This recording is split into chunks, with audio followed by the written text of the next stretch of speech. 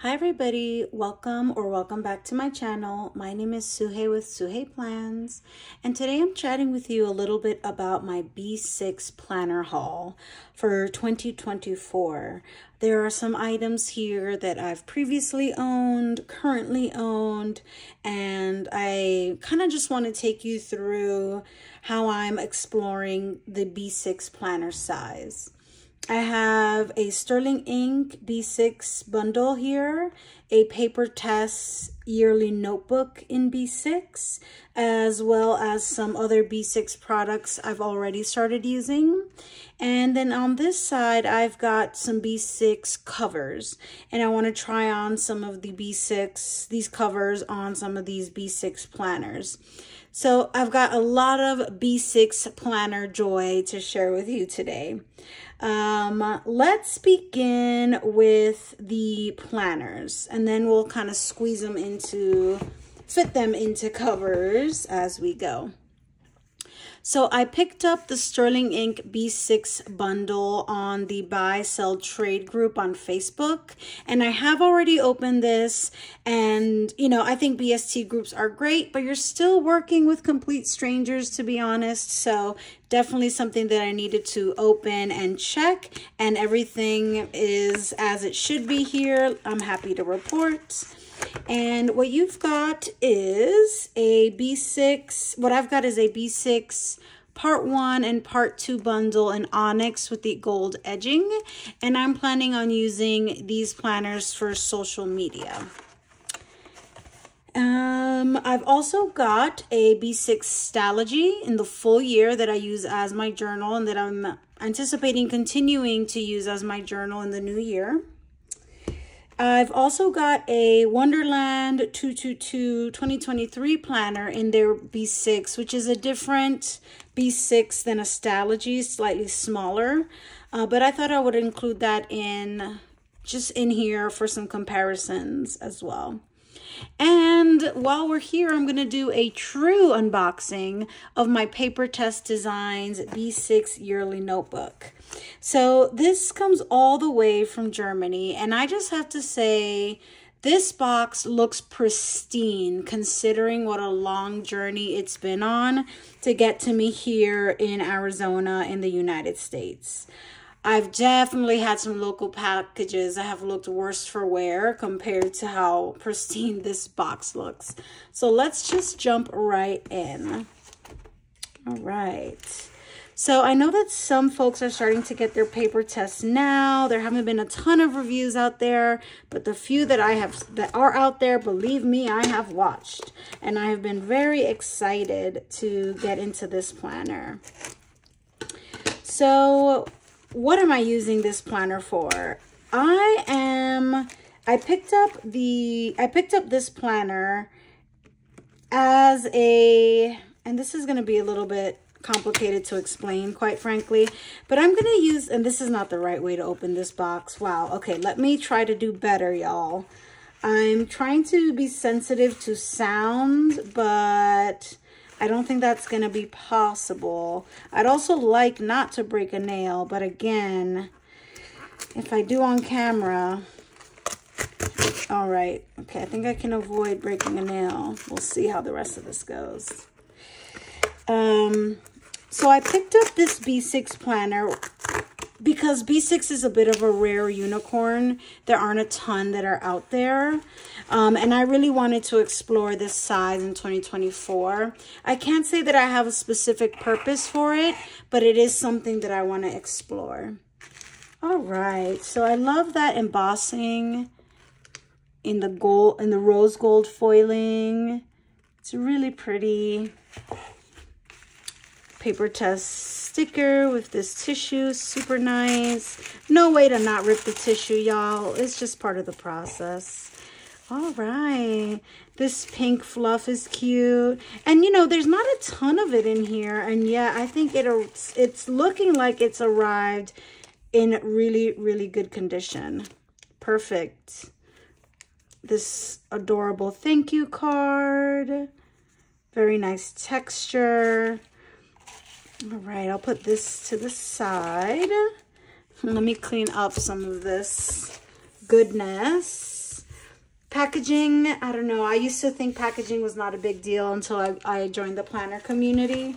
And now I very much appreciate the experience some nice packaging provides. All right, so this is chapter 24, the yearly notebook. It's a B6 full year planner. And what interests, and this is in the sage color. Right. Oh, lovely. Oh, that is such a nice little book. Very, very soft cover. Feels very sturdy, really beautiful and really soft. And I really do like that color. I have a lot of natural light coming into the room, so you can really see how gorgeous that sage color is. Oh, and there is the binding. Oh, the binding is really, really beautiful. That is really, really nice. And I'm sure everyone is curious about a comparison with the Sterling Ink B6. So this one, this covers the onyx and it has a little bit more texture, but it's still really, really soft. But definitely I would say that the Sterling Ink has a more textured cover than the Papertess. And this year Papertess did not go with the gold with the um, gold foiled edges, which I think the community was really sad about. But I think that the inside of this planner was still quite worth considering despite that not being an option this year.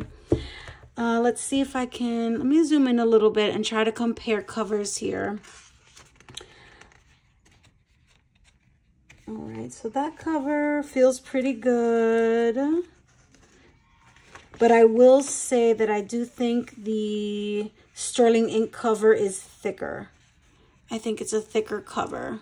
Yeah. And I do, something I do appreciate also about the gold, the Sterling ink is that even the cover is, has gold foiling. Small detail, but I think that's important. All right, so yeah, I do think that the Sterling ink has a bit of a thicker cover this year. It just folds a little bit easier. The Papertess folds a little bit easier, so which is how you can tell it's a little bit thinner. I wasn't planning on going through the Papertess today. I can link below a couple of review videos on a cover-to-cover -cover layout. What I really wanted to do today was focus on all the B6s that I have here, including Wonderland and Stalogy, and just do some kind of comparisons with the covers.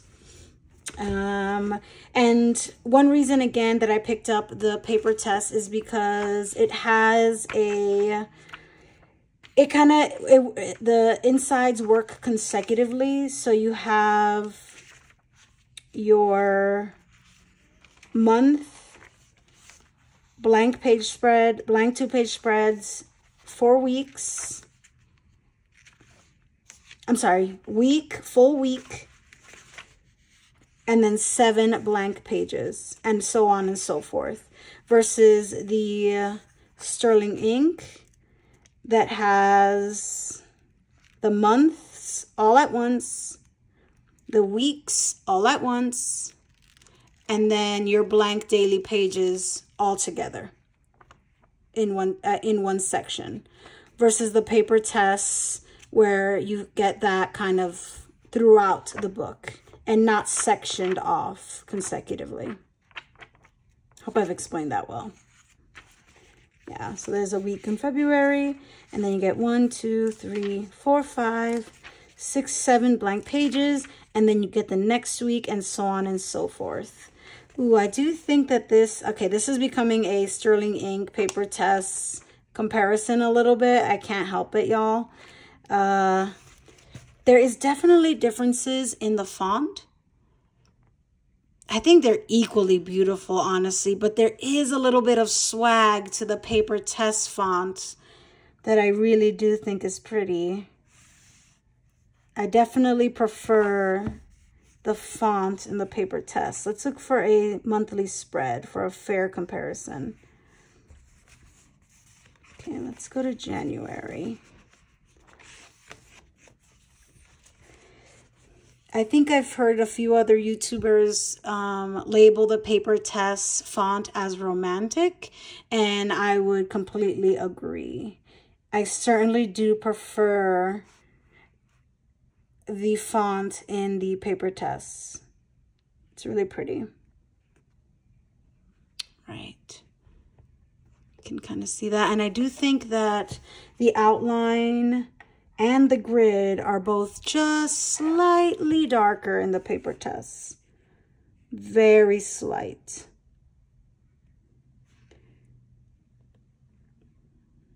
And I think I would need a ruler, but just from an, mm, no, I can't say.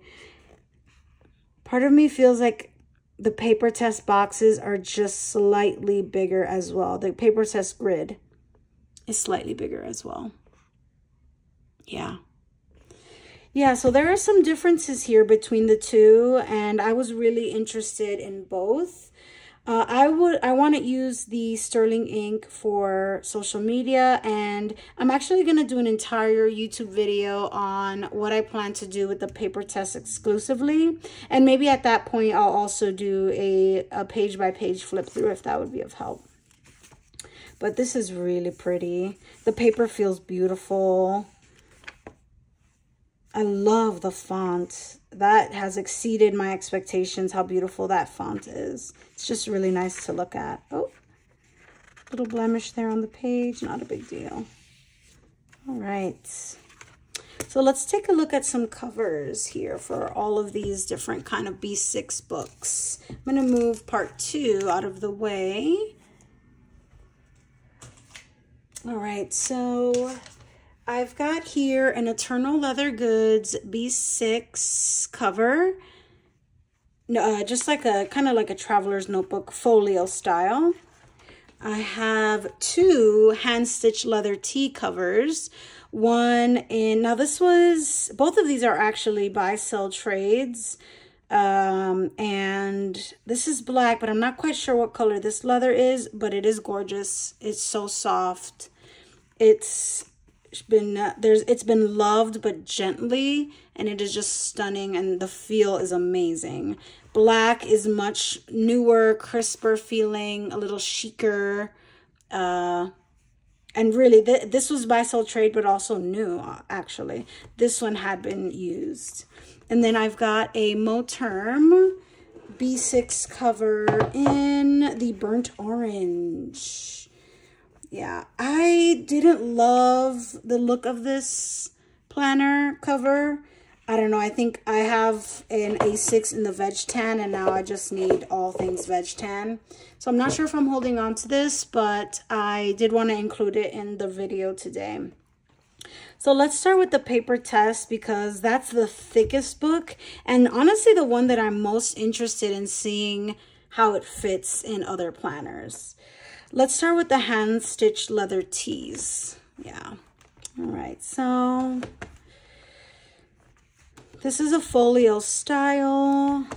Now this leather is uh, beautifully worn, so it should fit no problem. I don't think any of them will have a tight fit, but all right.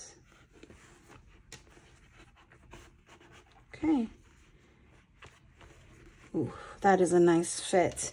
And I think something that catches my eye, sorry, let me try to organize here a bit.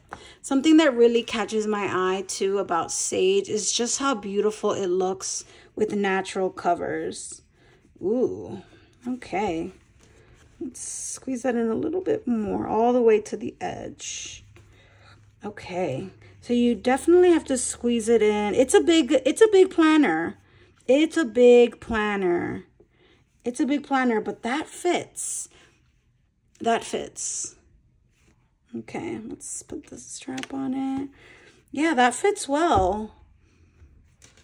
I am not intending to fill this up with stickers or washi or any of that. So I want, you know, but I still know that there will be some, like it will get fuller over time, but that's a pretty good fit. Um, although if you do notice, like the cover it just kind of so ever so slightly you, you might even say that it's just slightly too big for the cover because you can tell that this overhang is a little bit shorter than the back and that's probably because it's so thick.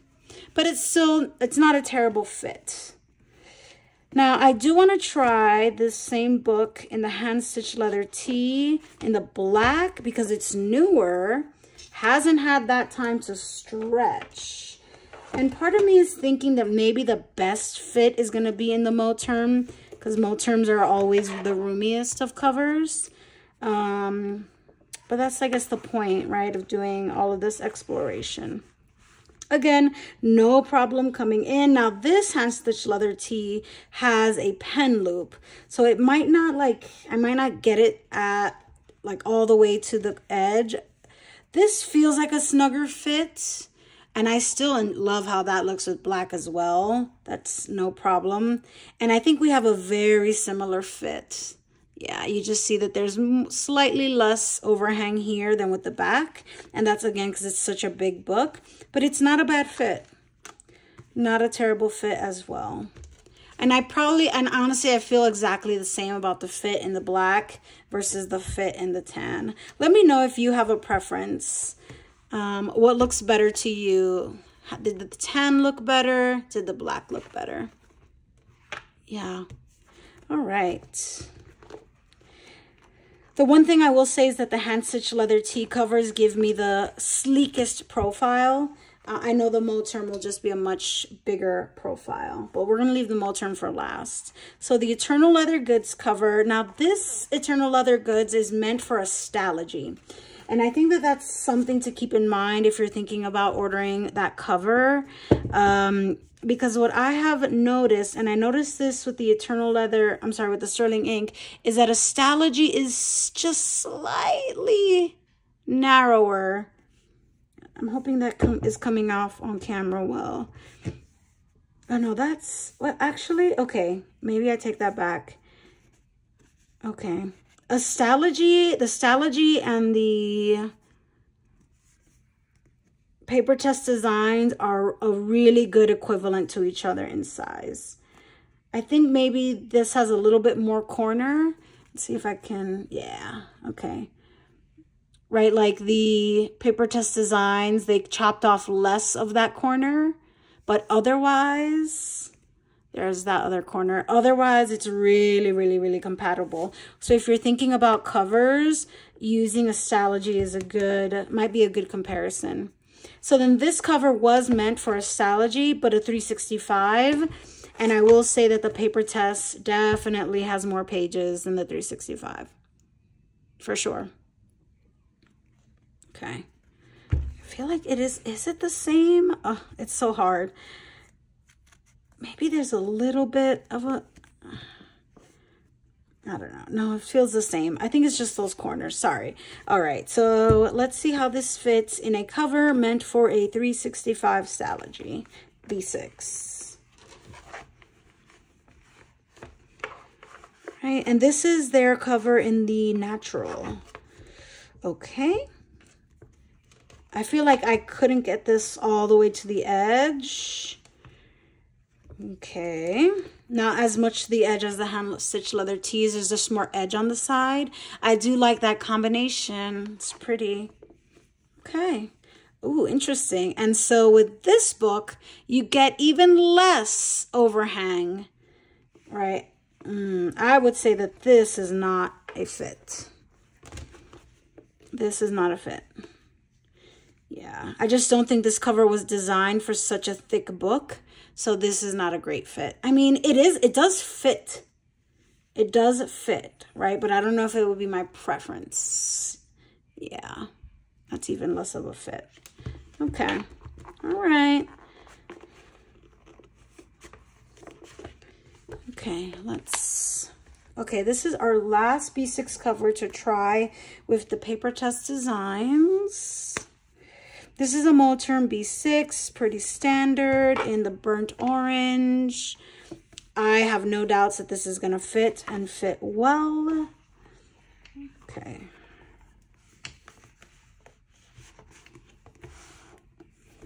Okay. Yep. Plenty of space in the strap. Let's put it in the first strap. It's a tighter strap. Yeah. Right. It's so interesting how I feel like with every book, the overhang on the front cover is just shorter than the back. But that just is a testament to the thickness of the book, I think. Um, and there is still some space for it to get chunky here. But I don't know. I don't know if I like any of these covers because I, I think that the mismatch overhang does kind of bother me a little bit. But it does fit, right? It does fit. So then that is the Moterm B6. I don't really know if I love any of the covers. Um, I know I, I think I do prefer the Moterm's fit, but the overhang and how that overhang, the, oh, the differences in its overhang is a little bit odd, like odd to me. So it's something for me to think about. Yeah, it's just the thickness of the book let's so let me compare how the Moterm fits. So here's how the Moterm fits with the B6 Papertess. Check out the Sterling ink. That for sure is not going to have those differences in the overhang. So this is, I believe, 270 pages. So it's even thinner than a Stalogy. Okay. Okay, fits in really well. Definitely. You're getting the same, you see that? You're getting the same overhang with the cover and the back cover on the book. Right, there's no, the thickness of the Papertess kind of pushes it back like this, but that is not going to be the case with a thinner book like the um, Sterling ink. And let me show you also the uh, Stalogy B6 because I guess that would be in the middle, right? So let me show you like this. Right here you have Sterling ink 270, Stalogy with 365, and then the Papertess with, I believe it's 500 or so pages, right? So let's see the Stalogy, which is kind of in the middle in its thickness. Okay. Okay, yeah. Nicely accommodates, and there's a lot less of a difference in the overhang here. Okay. Yeah, so then I guess I need to kind of keep thinking about what might be the best fit for this cover. In the interim, until I find something that I really like, I think this is going to be the winner. I think because it ha it's been it's like it's the oldest and most used leather cover here that it just has the best fit. And maybe with more time the Moterm will you know fit better. Uh but in all honesty, I'm looking for this. See that overhang and the differences. I don't know. I don't know. I don't know. I don't know if I'll use any of these covers. Maybe maybe I'll just have it kind of riding dirty, so to speak, until um, I can find something that works. Yeah, so this is something definitely to consider when you're thinking about B6s and covers. Uh, let me also compare the Sterling ink. Let me put the Sterling ink in a few other, other covers I tried it in the Moterm. Here's how it fits in the Eternal, I'm sorry, in the hand stitch leather tee. In the natural, I don't know what color this is. Um, that's a really nice fit. See that? Just beautiful, flush. You know, and that's something to consider with the Sterling Inks version of the full year and the, and the half year or the compact, right, is that they're to fit in covers very differently that feels okay.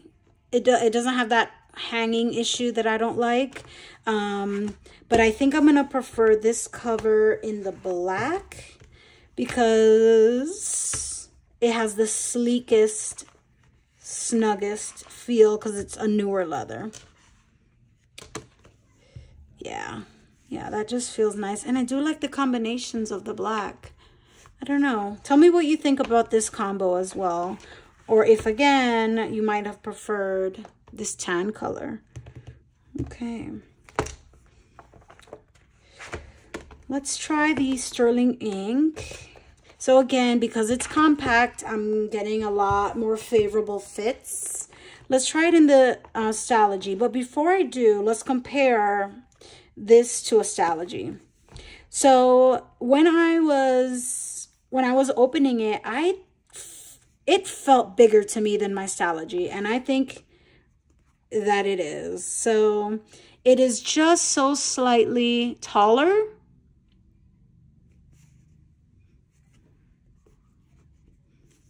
Hold on, let's see if I can. Okay. It is just so slightly taller. And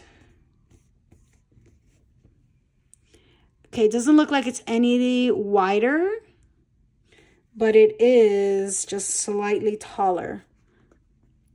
So that is going to impact how it fits in a cover meant for Stalogy, right?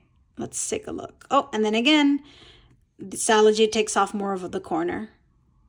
All right. I think it's going to fit, I don't know, because it's also slimmer. So let's see. It's slimmer than the Stalogy. Oh, not as easy to push in. That was a little bit more of a fight. Not a big fight, but still more of a fight. Ho ho! And that does not fit. Interesting. So that height difference really made a difference in how I was able to fit the cover and maybe also having the pen loop made a difference as well. So noted. Not every cover. So like, again, you know, not every cover is meant for every planner, even if they're both considered the same sizes. Some things will fit better than others. Uh, I would love, I'm very interested to see how like a more worn and loved Moterm would accommodate the Papertess. I think that could have changed my mind on how I felt about the Moterm. I don't know. Um, so this is, these are all of, these are all of the B6 planners and covers that I have. I think I'm kind of at square one still with what I want to use to cover, I'm sorry, with what I want to use to cover my B, um, my Papertess designs. I didn't love anything in this pile. So we'll see how I plan to make that work. So I hope this video kind of helps you see some differences between the, and then, oh, really quickly, sorry, before we wrap up, uh, Wonderland 222 uses completely different B6 conventions. So it is um, less wide and less tall than Sterling Ink, Papertess Designs, and Stalogy. One thing I will say is that I believe that this planner fit the best in a Stalogy cover. Probably because it's a little bit smaller in profile. Like the Papertess is just slightly, it's thicker than the Stalogy. And then the Sterling ink is just slightly taller than the Stalogy. So something to keep in mind. All right, so I hope that this was kind of helpful in thinking about B6 planners, how they fit notebooks and how they fit in different covers. Um, you can imagine that all of these plant covers will be too big for the B6, but if I had to recommend something that's currently available, go with uh, covers that fit Stalogy for Wonderland 222 B6s. It won't be a perfect fit, but it'll be a lot snugger than some of the other B6 covers that are out there. So stay tuned for some more videos on all of these. I want to explore, I want to share an exclusive, like a video just on how I plan to use the B6 uh, Papertess and I think I'll do a more deeper dive through as well. So stay tuned for that. And thanks so much for watching. If you found anything helpful here, please don't hesitate um, to give this video a like or subscribe if you'd be so kind.